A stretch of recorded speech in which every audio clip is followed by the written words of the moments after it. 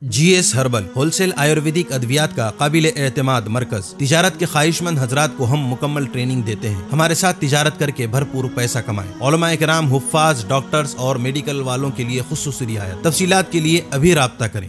قاسمی حج عمرہ tours and travels, حج عمرہ اور دیگر مقدس مقامات کی زیارت کا بھروسے مند مرکز، حج عمرہ جانے کے خواہش مند حضرات سکرین پر دیے گئے نمبرات پر کال کریں۔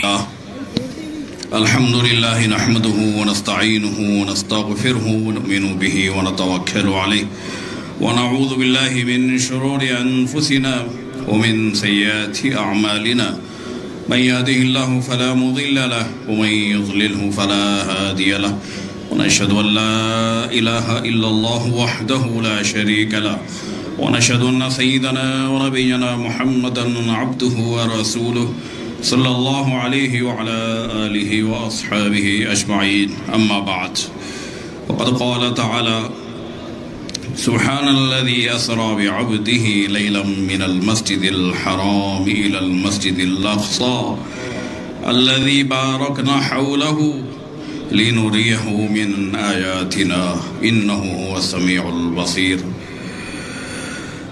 محترم صدر جلسہ بیرسٹر اسد الدین اویسی صاحب، اور اسٹیج پر رونق افنوس معزز علماء کرام۔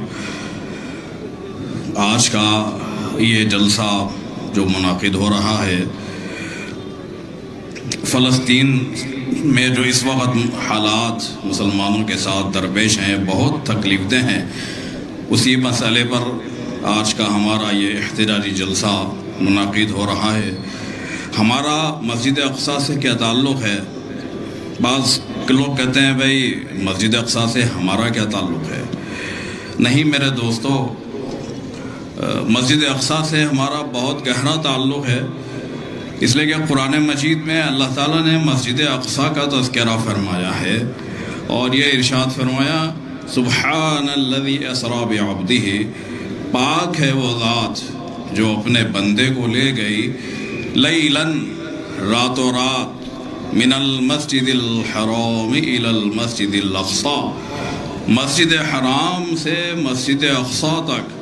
الذي بارکنا حوله، وہ مبارک سرزمین جس کے اطراف میں ہم نے بڑی برکتیں رکھی ہیں۔ لنریہم من آیاتنا۔ یہ سفر ہم نے اس لیے کروایا تاکہ ہم آپ صلی اللہ علیہ وسلم کو اور یہ آپ کے ذریعے سب کو قدرت کی نشانیاں اور عجائب قدرت دکھا دیں۔ تو اللہ کے رسول صلی اللہ علیہ وسلم کا جو معراج میں جو سفر ہوا، یہ اولاً مسجد حرام سے مسجد اقصا اللہ کے رسول صلی اللہ علیہ وسلم کو براق پر لایا گیا۔ تو وہاں سے یہاں کیوں لایا گیا؟ حالانکہ یہ سفر مسجد حرام سے بھی شروع ہو سکتا تھا۔ پھر مسجد حرام سے مسجد اقصا تک اللہ کے رسول صلی اللہ علیہ وسلم کو لایا گیا۔ پھر مسجد حرام سے معراج ہوئی اور یہاں سے آپ آسمانی دنیا پر تشریف لے گئے۔ تو شب معراج میں جو اللہ کے رسول صلی اللہ علیہ وسلم کو مسجد اقصا لایا گیا اور یہاں پر اللہ کے رسول نے تمام انبیاء علیہ والسلام کی امامت فرمائی۔ یہ در حقیقت اللہ کی طرف سے جو شب معراج کا جو سیکریٹ ہے، شب معراج کا جو راز ہے، وہ یہ تھا کہ در حقیقت اللہ جل شاہ نے یہود کی تولیت کو برخاست کر کے محمد الرسول اللہ صلی اللہ علیہ وسلم کے ہاتھ میں مسجد اقصا کو دے دیا۔ تو یہ یہ ایک سیکریٹ ہے شب معراج کا، عام طور پہ ہم لوگ اس طرف توجہ نہیں دیتے۔ تو یہ اللہ کے رسول صلی اللہ علیہ وسلم کا یہ جو سفر ہوا ہے در حقیقت یہ جو یہود اور یا جو لوگ بھی اس سے پہلے تھے، ان کی ان کی جو تولیت تھی اس کو ختم کر کے محمد الرسول اللہ صلی اللہ علیہ وسلم کی تولیت میں دینا تھا۔ گویا کہ شب معراج میں مسجد اقصا کا کنٹرول محمد الرسول اللہ صلی اللہ علیہ وسلم کے ہاتھ میں آیا۔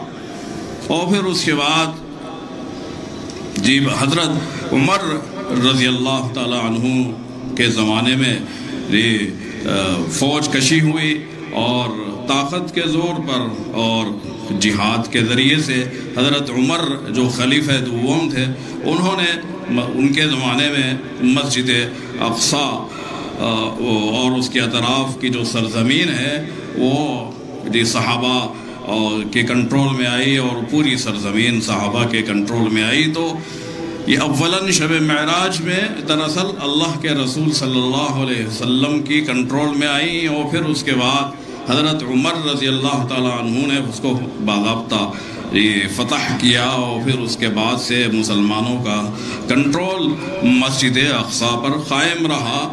پھر اس کے بعد یہ جب کچھ عرصہ ایسا ہوا کہ مسجد اقصا مسلمانوں کے ہاتھ سے چھین لی گئی، تو پھر اللہ جل شاہ نے صلاح الدین ایوبی جی رحمۃ اللہ علیہ کو پیدا فرمایا جنہوں نے بہت زبردست بڑی بڑی معرکیں آریاں ہوئیں اور بڑی خونریز جنگیں ہوئیں اور بڑی زبردست جی کوششوں کے بعد یہ صلاح الدین ایوبی نے مسجد اقصا کا کنٹرول حاصل کیا۔ تو اس طرح یہ مسجد اقصا کی جو تاریخ ہے، شب معراج سے یہ اللہ کے رسول صلی اللہ علیہ وسلم کے کنٹرول میں آئی اور پھر اس کے بعد مسلمانوں کے کنٹرول میں رہی۔ پھر یہ ونیس یہ مسلمانوں کے ہاتھ میں رہی۔ پھر انیس سو چوبیس میں جب عثمانی خلافت کا خاتمہ ہوا اور بہت ساری سازشوں کے نتیجے میں، ان کی تفصیلات میں جانے کا موقع نہیں ہے۔ ان سازشوں کے نتیجے میں عثمانی خلافت کا خاتمہ ہوا اور جو آخری عثمانی خلیفہ تھے، یہ یہودی ان کے پاس پہنچے اور انہوں نے کہا کہ آپ یہودیوں کے لیے فلسطین میں یہ جگہ دیجیے۔ تو آخری جو خلیفہ تھے، انہوں نے کہا کہ فلس تم میری میری جان چلی جائے، لیکن فلسطین کی ایک انچ زمین بھی میں یہود کے حوالے نہیں کہوں گا۔ ایک انچ زمین بھی دینے سے خلیفہ نے انکار کر دیا اور پھر اس کے بعد جی یہودی اس اپنے مقصد میں اور ناکام ہو گئے اس خلیفہ کے انکار کرنے کی وجہ سے پھر یہ سازشیں چلتی رہیں، پھر اس کے بعد یہ عثمانی خلافت کا جب خاتمہ ہوا اور پھر اس کے بعد یہ فلسطین کی سرزمین پر برطانیہ کا کنٹرول ہوا تو پھر اس نے جی سازش کر کے ان یہودیوں کو وہاں پر بسانا شروع کیا اور فلسطینی بے گھر ہوتے چلے گئے۔ آج لاکھوں کروڑوں فلسطینی بے گھر ہیں اور ان پر جس طرح یہ جو اس وقت جو قتل و غارت گری اسرائیل کی جانب سے چل رہی ہے، بہت ہی انتہائی دردناک، انتہائی علمناک اور انتہائی ہمارا سینہ چھنی ہو رہا ہے جو اس وقت جو حالات فلسطین کے چل رہے ہیں۔ لیکن پھر ایک وقت آئے گا کہ حضرت عیسیٰ علیہ السلام تشریف لائیں گے، امام مہدی بھی تشریف لائیں گے اور پھر وہ دجال کا مقابلہ کریں گے، یہودیوں کا مقابلہ کریں گے اور پھر یہودیوں کو بدترین شکست اس فلسطین کی سرزمین پر دی جائے گی۔ اور اللہ کے رسول صلی اللہ علیہ وسلم نے یہ بھی ارشاد فرمایا کہ میری امت میں ایک گروہ ایسا رہے گا جو ظالم طاقتوں سے مقابلہ کرتا رہے گا اور وہ قیامت تک وہ ظالموں سے مقابلہ کرتے رہے گا اور تو صحابہ صحابہ نے پوچھا کہ اللہ کے رسول وہ کون لوگ ہیں جو ظالم طاقتوں سے مقابلہ کریں گے؟ تو اللہ کے رسول صلی اللہ علیہ وسلم نے ارشاد فرمایا کہ وہ بیت المقدس میں رہنے والا ایک گروہ یہ بہت بڑی نبوی پیشن گوئی ہے جو فلسطین کے حق میں اور فلسطین کے کمزور لڑنے والوں کے حق میں اللہ کے رسول صلی اللہ علیہ وسلم کی یہ پیشن گوئی موجود ہے۔ اور اللہ کے رسول نے اس میں یہ بھی فرمایا، لا يضرهم من خالفهم کہ جو ان کی مخالفت کرے گا تو وہ مخالفت کر کے ان کا کچھ بگاڑ نہیں سکتا۔ ان کا کچھ بگاڑ نہیں سکتا وہ۔ مخالفین بہت آج اسرائیل بڑی کوششیں کر رہا ہے اور بہت کچھ وہ کوششیں کر رہا ہے آج اس سے پہلے کی جو جنگیں ہوئیں، چھ دن میں وہ تین ملکوں سے اس نے جو مقابلہ کیا اور چھ دن میں جنگ کا تصفیہ ہو گیا۔ اسرائیل نے اپنے حق میں تصفیہ کر دیا۔ آج سولہ دن ہو چکے ہیں۔ آج سولہ دن ہو چکے ہیں۔ یہ بیچارے کمزور لڑنے والے کمزور ہیں۔ ان کے پاس سوائے ایمان کی طاقت کے اور کچھ بھی نہیں ہے۔ صرف ایمان کی طاقت کے بل بوتے پہ یہ مقابلہ کر رہے ہیں اور اسرائیل سولہ دن آج ہو چکے ہیں، لیکن وہ ان ان کو ختم کرنے میں مکمل طور پہ ناکام ہے۔ یہ خود یہ خود اسرائیل کی لوگ کہہ رہے ہیں۔ امریکہ کے جو رپورٹیں آ رہی ہیں امریکی اخبارات میں یہ رپورٹیں چھپ رہی ہیں کہ اسرائیل جو چھ دن میں جنگ کا تصفیہ کر دیا تھا، اس سے پہلے جو صحیح لیکن اب سولہ دن ہو چکے ہیں، وہ کچھ بھی نہیں کر رہا۔ یعنی لڑنے والوں کو وہ نقصان نہیں نقصان پہنچانے میں کامیاب نہیں ہو سکا ہے، جو لڑ رہے ہیں۔ کیونکہ اللہ کی اللہ اللہ کے رسول کی پیشن گوئی ان کے حق میں موجود ہے۔ لا يضرهم من خالفهم جو ان کی مخالفت کرے گا وہ ان کا کچھ بگاڑ نہیں سکتا۔ یہ اللہ کے رسول نے پہلے ہی فرما دیا تھا۔ تو یہ کوششیں جو اس وقت چل رہی ہیں، یہ جی سلسلہ جاری رہے گا، یہاں تک کہ اسرائیل کا وجود مٹ جائے گا۔ اسرائیل کا وجود ایک وقت آئے گا، ایک وقت آئے گا کہ اسرائیل کا وجود مٹ جائے گا کیونکہ یہ اللہ کے رسول صلی اللہ علیہ وسلم کی پیشن گوئیاں حدیثوں میں موجود ہیں اور یعنی جب بھی وہ اللہ جانتا ہے کہ وہ وقت کب آئے گا، لیکن آئے گا ضرور۔ اور اب اب تو اس وقت بہت سارے جو اصل یہودی ہیں، وہ لوگ خود کہہ رہے ہیں کہ یہ اسرائیل بڑا ظلم کر رہا ہے اور اسرائیل کے اسرائیل کو مملکت یعنی اسرائیل کے وجود کا یعنی اس کی سلطنت کا، اس کو کوئی حق نہیں ہے، اس کو ختم ہو جانا چاہیے۔ اور یہ خود یہودی، جو اصل یہودی ہیں، وہ موجودہ اسرائیل کے شدید مخالف ہیں اور وہ کہہ رہے ہیں کہ اس کو ختم ہو جانا چاہیے۔